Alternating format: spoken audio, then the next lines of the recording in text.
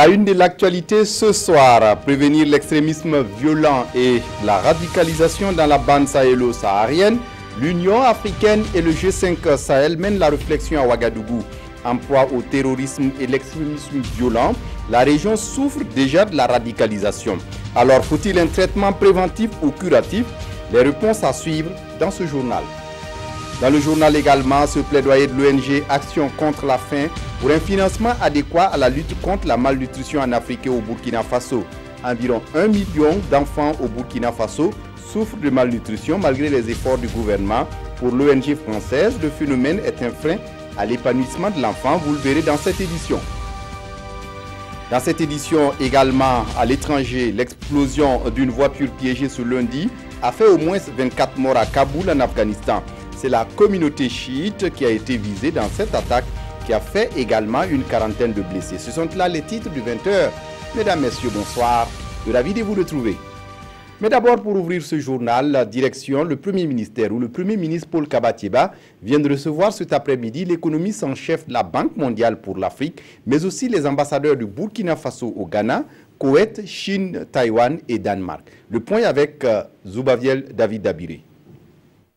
L'émissaire de la Banque mondiale, Albert Zefak, chez le Premier ministre Paul Kabatieba. L'économiste en chef de la région Afrique de la Banque mondiale est venu parler du lancement du CPIA, un outil d'évaluation des politiques et institutions des pays. Cet outil est extrêmement important puisqu'il détermine l'allocation euh, au guichet concessionnel, l'allocation des ressources du guichet concessionnel IDA de la Banque mondiale.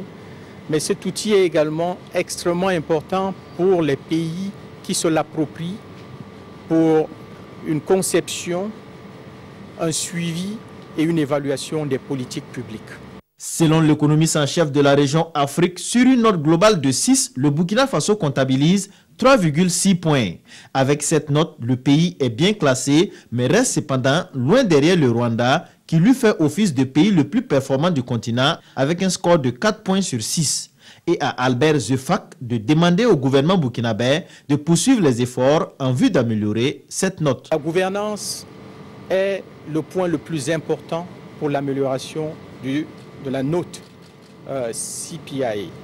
Il est important de continuer les réformes de l'administration publique, de renforcer les efforts de mobilisation des ressources domestiques et euh, de continuer les efforts pour accroître la transparence et la lutte contre la corruption. Après la visite de l'économiste de la Banque mondiale, Paul Kabatieba a reçu une délégation d'ambassadeurs nouvellement nommée conduite par le général Pernoma Zagré. Selon leur porte-parole, ils sont venus recueillir les conseils du Premier ministre sur les domaines de leur mission, à savoir la mise en œuvre de la politique étrangère du Burkina Faso. Justement à propos de la Banque mondiale, la Banque mondiale qui évalue les performances et politiques euh, des institutions en Afrique, euh, une évaluation qui fait ressortir une baisse de ces performances. Mais malgré tout, les pays comme le Rwanda et le Sénégal s'en sortent mieux. Les critères sont mis en avant pour euh, cette évaluation concernent quatre domaines, notamment la gestion économique, les politiques structurelles et les politiques d'insertion sociale et d'équité. Une notation qui est déterminante pour la Banque mondiale en ce qu'elle lui permet d'accentuer ou non ses allocations budgétaires aux pays évalués. Des détails avec Yacouba Gamene et Aruna Mari. La performance des politiques et des institutions en Afrique subsaharienne est en recul. C'est une donnée de la Banque mondiale. Sur les 38 pays évalués en 2016, 40% d'entre eux ont vu leur note régresser à 3.1 sur une échelle de 6. Le Rwanda est le pays le mieux loti dans ce classement avec 4 points. Viennent ensuite des pays comme le Sénégal et le Kenya. Le Burkina se situe à 3.6 et des efforts doivent être consentis. Nous avons décidé d'atteindre le niveau de 4 et en travaillant dans le sens d'une plus grande coordination et des politiques nationales au plus haut niveau de l'État pour nous assurer qu'un suivi est fait au niveau des secteurs ministériels concernés. La Banque mondiale est confiante qu'avec cette matrice de réforme que le gouvernement est en train d'engager, cela nous permettrait effectivement d'engranger, en fait, d'avoir une bonne notation et d'engranger bien sûr un retour sur l'investissement qui sera réalisé. L'évaluation s'appuie sur 16 indicateurs et porte sur quatre domaines clés. Les politiques structurelles, la gestion économique, la gestion et les institutions du public et enfin les politiques d'insertion sociale et d'équité. Le groupe de la Banque mondiale dit disposé à accompagner le Burkina pour améliorer son score. Il y a également tous les efforts à faire pour tout ce qui est politique structurelle et pour tout ce qui est euh, de la gouvernance. Et euh, naturellement, euh, les efforts en termes de gouvernance doivent être continus, doivent être soutenus pour améliorer le score. Cette notation est aussi déterminante pour la Banque mondiale.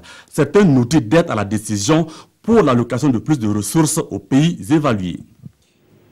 À présent, direction l'Assemblée nationale, où son président échange avec euh, des parlementaires ivoiriens sur l'intégration plus réussie entre la Côte d'Ivoire et le Burkina Faso. C'est l'ambassadeur de Côte d'Ivoire au Burkina qui les a accompagnés auprès de Salif Diallo. Que se sont-ils dit exactement sur le sujet? La réponse avec Oumar Zombré. Un groupe parlementaire ivoiro-burkinabé pour booster l'amitié entre la Côte d'Ivoire et le Burkina Faso. En se rendant à l'Assemblée nationale, l'ambassadeur de Côte d'Ivoire vient s'enquérir de cette nouvelle initiative. Nous sommes euh, ici ce matin pour répondre à une invitation fraternelle du groupe d'amitié parlementaire Burkina Faso-Côte d'Ivoire pour continuer euh, la vitalité quotidienne du TAC. Ce cadre privilégié d'amitié et de fraternité entre le Burkina Faso et la Côte d'Ivoire. Selon le premier vice-président de l'Assemblée nationale, ce groupe d'amitié parlementaire entre les deux pays va développer des politiques d'intégration à la base. Le bureau du groupe d'amitié va échanger avec euh, M. l'ambassadeur euh, sur tous ces détails et de voir comment l'Assemblée nationale burkinabé euh, devrait s'impliquer justement dans cette recherche d'un mieux-être pour nos populations en parfaite symbiose et également jouer notre partition en tant que représentant euh, de nos populations. Le groupe d'amitié parlementaire Burkina Faso-Côte d'Ivoire est présidé par le député Thibaut Tapsoba terrorisme et extrémisme violent, la bande sahélo-saharienne est infestée de ces groupes radicalisés qui menacent la paix sous-régionale. Pour prévenir la radicalisation dans cette partie du continent africain et lutter efficacement contre l'extrémisme violent, chefs religieux et acteurs de la société civile, mais aussi des experts, sont réunis à Ouagadougou depuis ce matin pour un colloque, une rencontre qui doit aboutir à l'élaboration d'un référentiel. Ali Badini, Zoubabiel David Dabiré. La radicalisation et l'extrémisme violent deux phénomènes déstabilisateurs des États de la bande sahélo-saharienne et très souvent source de désolation pour les populations. Fort de cette conviction, le G5 Sahel et l'Union africaine mènent la réflexion depuis quelques années en vue de dégager des stratégies de lutte contre ce qu'ils qualifient de fléaux. Après les débats menés sur la question à Bamako, Nouakchott et Niamey, l'heure est venue pour les experts de confiner le fruit de leurs réflexions dans un document. Document qui servira de référentiel pour les États et qui indiquera les leviers sur lesquels s'appuyer pour lutter en amont contre le terrorisme. L'arme du développement, c'est important. Il faut donner euh, aux populations le sentiment d'appartenance à la même nation, qu'il y a un effort équilibré euh, de développement.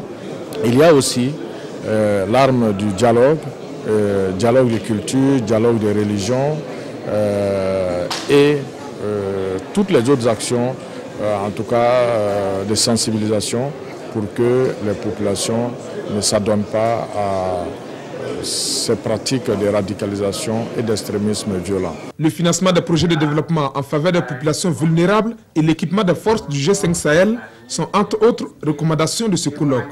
Des recommandations qui nécessitent la mobilisation des ressources financières importantes certes, mais indispensables selon les experts pour la stabilité et le développement de la zone sahélienne. Fort ou pas fort, les responsabilités de l'État ne changent pas. Aucun, aucun État ne peut échapper à ses responsabilités en disant je ne suis pas fort. Donc il faut seulement adapter les stratégies. Si on n'a pas les moyens soi-même, il faut les chercher à travers la coopération avec les voisins, à travers la coopération au niveau international. Par exemple, cette initiative des pays du, euh, des, pays du G5 Sahel, ce sont les pays qui se mettent ensemble pour mettre ensemble leurs moyens. Je pense que c'est le constat que chacun individuellement a des possibilités limitées, alors on se met ensemble. Les conclusions de ce colloque de haut niveau seront mises à la disposition des États sahéliens pour une mise en œuvre effective avec l'appui financier et technique de l'Union européenne, l'Union africaine et bien d'autres organisations internationales.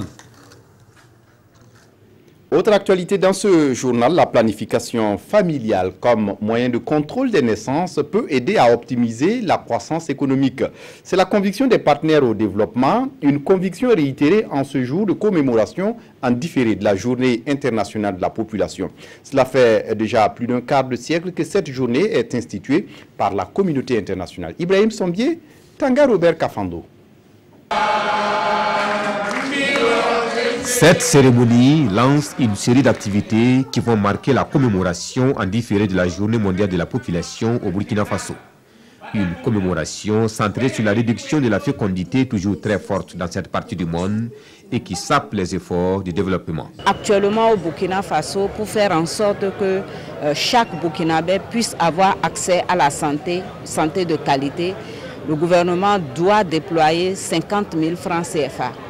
Avec les revenus qui existent actuellement au niveau du pays, c'est seulement 15 000 francs que le gouvernement met à la disposition donc, du secteur de la santé. Vous voyez déjà qu'il y a un gap de 35 000 francs CFA.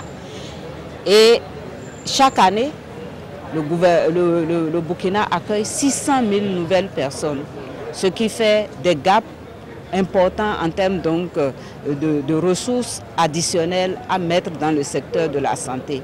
Et pour résoudre le problème, les autorités en charge de la question agissent sur plusieurs facteurs. C'est d'abord des facteurs culturels, c'est des facteurs politiques, c'est des facteurs sociaux, c'est des facteurs euh, économiques. Donc euh, on demande l'implication de l'ensemble des acteurs, que ce soit le gouvernement, la société civile, les leaders coutumiers et religieux, pour que les gens puissent en tout cas prendre conscience donc de la question de maîtrise donc des questions de population. Objectif faire du planning familial un droit, le droit pour chaque femme de choisir le nombre d'enfants à faire, quand il faut le faire, et également le droit de ne pas le faire. Et pour les Nations Unies, c'est au prix du respect de ce droit que chaque grossesse sera désirée, que chaque accouchement sera sans risque et que chaque jeune réalisera pleinement son potentiel. L'OST, l'Office de santé des travailleurs, a 30 ans, un anniversaire célébré sous le signe de l'expérience de la santé des travailleurs et sa contribution pour un travail décent. Les responsables de l'institution ont rencontré la presse ce matin pour mieux communiquer sur l'événement. Adama Giti, Maimouna Traoré. L'Office de santé des travailleurs a été créé en 1987 avec pour mission principale d'éviter l'altération de la santé des travailleurs du fait de leur travail ou des conditions d'exercice de leur métier. En 30 ans d'existence, il a engrangé des acquis en faveur de l'amélioration de la santé des travailleurs. Les activités de santé au travail sont régulièrement menées.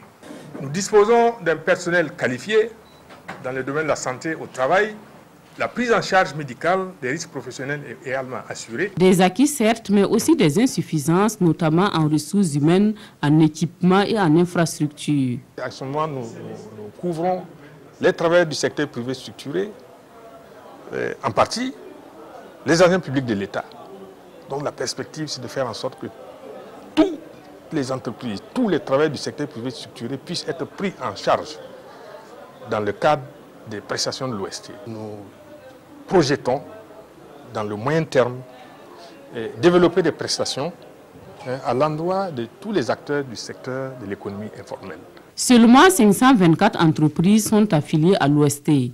Le DG et son personnel ambitionnent accroître ce nombre. Ils organisent une journée portes ouvertes pour mieux faire connaître la structure. Cette célébration sera également consacrée à des communications sur des thématiques de santé et sécurité au travail, une visite médicale et une rencontre avec les partenaires techniques et sociaux. Dans l'actualité ce soir, l'ONG française Action contre la faim mène en ce moment un plaidoyer pour un financement adéquat pour la lutte contre la malnutrition en Afrique et au Burkina Faso. Ce 22 juillet à Ouagadougou, au cours d'un dîner avec des parlementaires d'Afrique de l'Ouest, du Centre et du Maroc, l'ONG a encore plaidé pour euh, un financement adéquat. Pour l'ONG française, la malnutrition en Afrique est un frein à bien de développement et l'épanouissement de l'enfant. Zoubavier David Abiré. L'ONG Action contre la faim plaide pour un financement adéquat des politiques de lutte contre la malnutrition en Afrique. À ce dîner, elle fait l'état des lieux du phénomène sur le continent et demande l'implication des parlementaires, des décideurs africains et des acteurs des Nations Unies dans la recherche des solutions. Nous pouvons déjà à une première étape, lorsqu'il s'agit donc euh, du financement de la nutrition au niveau des débats budgétaires, avoir de l'influence sur les orientations budgétaires en faveur de la nutrition. Et deuxièmement, le processus qui aboutit donc euh, au vote de la loi des finances, les députés peuvent encore influencer les orientations budgétaires ou en tout cas l'allocation budgétaire en faveur de la nutrition.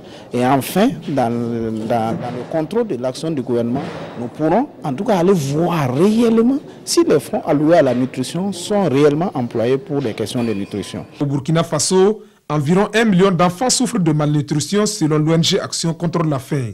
Et ce, malgré les efforts déployés par le gouvernement. Pour la ministre en charge de l'économie, des ressources additionnelles sont en cours pour juguler le phénomène. Lorsque les 1000 premiers jours d'un enfant ne sont pas pris en charge, ce sera vraiment un handicap irréversible. Donc l'impact, ce n'est pas seulement sur l'enfant, sur sa famille immédiate, sur la communauté, mais c'est surtout le pays.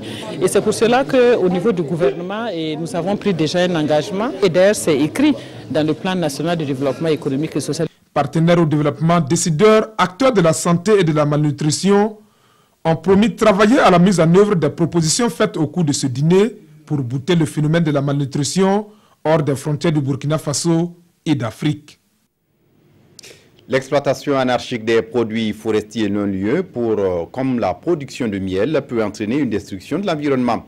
Pour prévenir ces actions néfastes, la Fédération nationale des comités de gestion du parc Tambi-Kabori vient doter les femmes apicultrices de matériel adapté. La remise du matériel est intervenue ce 21 juillet en présence de Kadissa Nogo. La Fédération nationale des comités provinciaux d'appui à la gestion du parc national Kabore-Tambi est partie du constat que l'apiculture traditionnelle rime avec la désertification.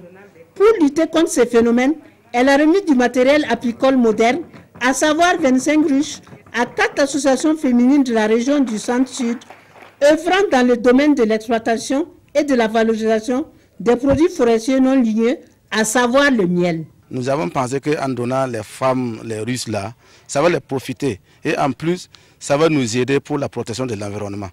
Parce qu'aujourd'hui, les femmes n'ont rien à faire. Et s'ils n'ont pas un métier à faire, ils peuvent aller couper les bois anarchiquement pour vendre et puis, et puis cueillir les, les, fruits là, non mûrs. Tout cela, ça, ça, ça, en tout cas, ça dégrade l'environnement.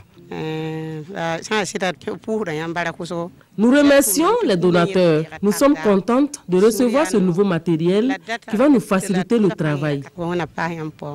D'un coût estimé à 15 millions de francs CFA, ce matériel apicole a été financé par la Sonabel dans le cadre de la mise en œuvre de son projet d'interconnexion Bolgatenga-Ouagadougou. Avec l'appui de nos partenaires, notamment la Banque mondiale, on a essayé d'initier des activités qui peuvent renforcer la conservation de cette forêt.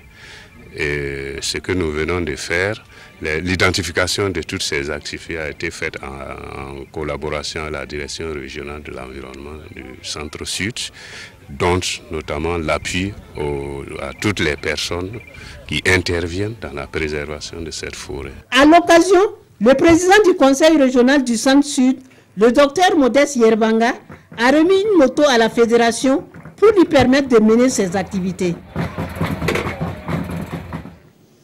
Ces efforts de lutte contre la désertification au Burkina s'étendent aux deux lotières de grandes utilisatrices de bois de chauffe. Et pour limiter la coupe abusive de bois de chauffe, des initiatives existent aujourd'hui pour rendre disponibles des foyers améliorés. Ces foyers utilisent très peu de bois de chauffe et le Fonds d'intervention pour l'environnement subventionne sa vulgarisation auprès des deux comme celle de Koudougou dans le centre-ouest. Explication avec Khalidou Badini et Omar Zombré. Le dolo Voici une bière locale qui se consomme bien au Burkina Faso. Nous sommes dans un cabaret à Koudougou.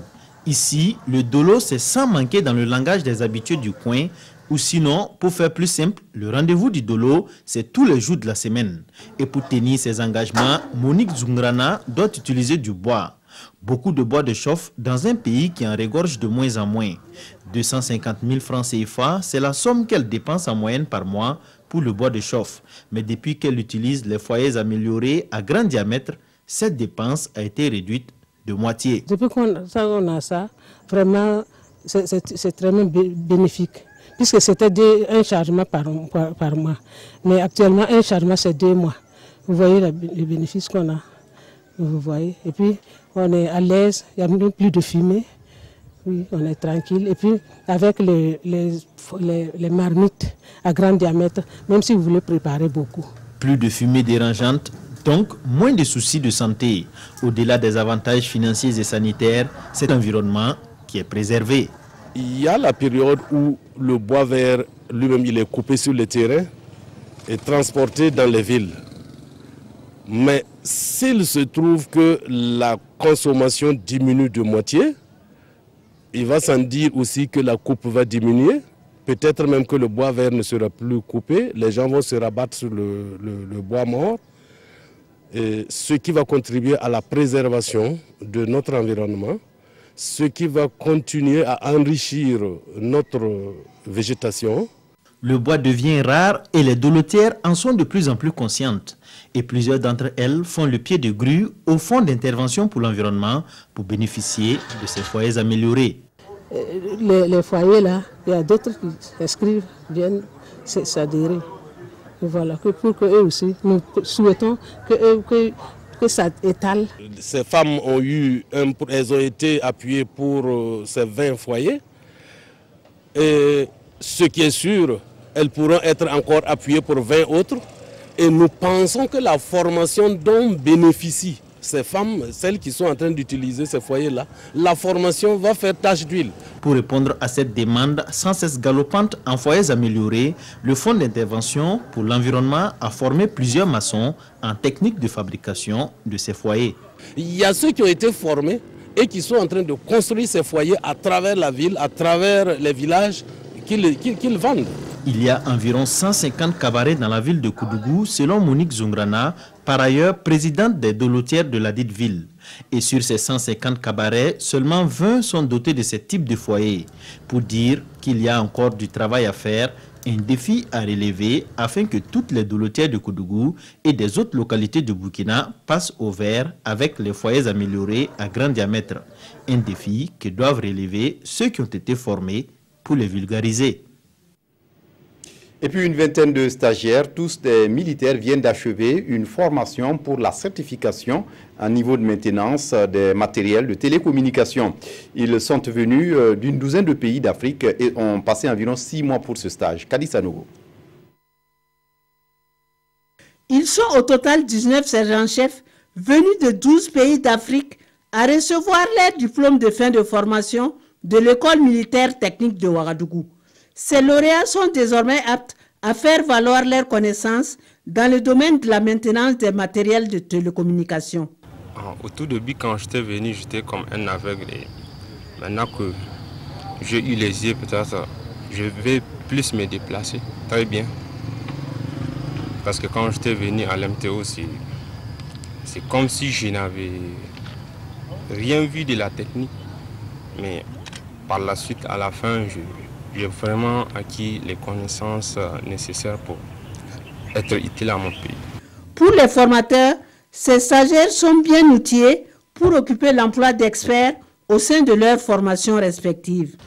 Au cours de ces six mois, donc, ils ont acquis toutes les techniques, euh, toute la théorie et la pratique pour pouvoir assurer désormais les, euh, le maintien en condition, les réparations de tous les matériels de transmission qui sont en service dans les armées du continent africain ils sont, ils sont largement prêts. Cette formation, qui a bénéficié du soutien de la coopération française, a duré six mois.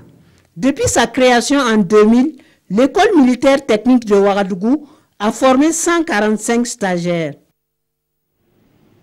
Eux ne sont pas militaires, mais ils ont euh, le même profil de technicien de communication. Ils euh, sont issus de l'école supérieure multinationale de télécommunications. Ils viennent d'achever leur formation sanctionnée par un diplôme. Des détails avec Zouaviel David Abiré. De nouveaux diplômés sur le marché de l'emploi. L'école supérieure multinationale des télécommunications, Antenne du Burkina, vient de livrer sa cuvée 2017. Ils sont au nombre de 25 étudiants à boucler leur cycle de formation en diplôme de technicien supérieur DTS créer, innover, entrepreneur sont autant de conseils prodigués par la ministre en charge du développement numérique et des postes, par ailleurs présidente de la cérémonie. C'est vrai que l'administration a toujours besoin d'une telle expertise, mais vous savez que présentement l'offre en matière d'emploi est toujours euh, inférieure à la demande. Donc euh, j'encourage les, les plus audacieux à se lancer dans l'entrepreneuriat et à être à l'écoute donc des besoins des populations dans le domaine des télécommunications et des TIC. Après deux ans de formation en DTS, les lauréats, eux, pensent déjà à leur carrière professionnelle. Je compte vraiment euh, créer ma propre entreprise. Voilà. Et puis bon, essayer toujours d'avoir des soutiens côté, euh, du côté financement essayer un peu de désengorger le pays du chômage. Comme nous sommes à l'aide du numérique, voilà, donc il faut innover. Au cours de cette cérémonie, les trois premiers des cinquième et sixième promotions ont vu leurs efforts récompensés, ainsi que certaines personnalités. Cette cérémonie marque ainsi la fin de l'année académique 2016-2017 à l'École supérieure multinationale des télécommunications, Antenne du Burkina. À l'étranger, l'explosion d'une voiture piégée ce lundi a fait au moins 24 morts à Kaboul, en Afghanistan. C'est la communauté chiite qui était visée dans cette attaque qui a fait également une quarantaine de blessés. Kaboul frappé par une explosion meurtrière un an après le premier attentat de l'État islamique dans la capitale afghane. Au moins 24 personnes ont été tuées et plus de 40 blessées par une voiture piégée. Comme il y a un an, c'est la communauté Hazara chiite qui était ciblée. Le kamikaze s'est jeté contre un bus transportant des employés du ministère des Mines. Il visait probablement la maison d'un des principaux leaders de la communauté Hazara. C'est devant le premier point de contrôle de sa résidence que la voiture a explosé, tuant des gardes mais aussi des étudiants. La minorité Hazara, longtemps discriminée et marginalisée, est connue pour être l'une des plus ouvertes du pays, notamment envers les femmes. À présent, la revue de presse des quotidiennes ce lundi, revue de presse signée Vincent Tiendrebeo. L'affaire de piratage de compte de la banque CBAO occupe les colonnes de plusieurs quotidiens. La tête d'affiche de cette affaire étant Sayouba Zidouemba d'Iwil Telecom, qui écope de trois ans de prison ferme et d'une amende d'un million cinq cent mille francs CFA, mais son avocat veut faire appel, nous indique le journal. Le pays nous rappelle que le condamné était poursuivi pour complicité de falsification de documents informatisés et de recel dans une affaire d'extorsion de fonds estimée à 8 milliards de francs CFA. Université Norbert Zongo, le nouveau nom de l'université de Koudougou, rebaptisé lors du dernier Conseil des ministres, a suscité quelques réactions dans la presse.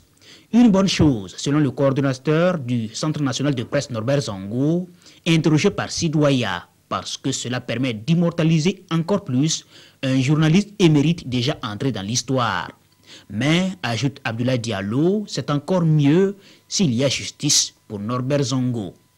Le quotidien embouche la même trompette. La conscience sociale retiendra pour toujours la mémoire de l'homme, mais cela ne doit pas être un alibi pour brouiller la voie à l'éclosion de la justice, écrit ce journal. Situation politique ivoirienne. Vivement le calme en Éburnie, titre citoyen, car la Côte d'Ivoire en a vraiment besoin au regard des secousses dans ce pays depuis le début de l'année. Accusé à tort ou à raison par l'opinion d'y être pour quelque chose, Guillaume Soro a fait cette déclaration reprise par le journal. J'ai décidé de demander pardon aux Ivoiriens pour tout ce que, depuis 2002, j'ai pu consciemment ou inconsciemment commettre comme offense à ce peuple. Et l'éditorialiste de dire que si cette profession de foi est sincère, il lui reste à peser de tout son poids pour que cessent les bruits des canons. Mais pour aujourd'hui au Faso, c'est une contrition éminemment politique, car Guillaume Soro veut un armistice et a décidé d'user de tous les moyens, y compris celui de la réconciliation, pour gommer les plis de rebelles qui lui collent la peau. Reste à savoir si Laurent Gbagbo et ses militants du FPI aux dents serrées accepteront ces excuses, se demande aujourd'hui au Faso.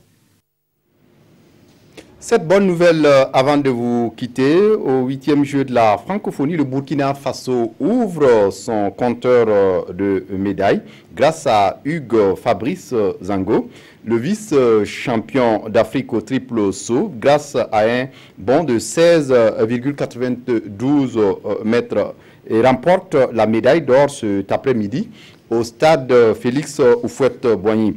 Le développement de cette information tout à l'heure à 20, h 45 dans le magazine des sports. Le dernier journal de cette soirée est prévu à 22h30. Merci de votre attention. Très bonne suite du programme sur la RTB. Au revoir.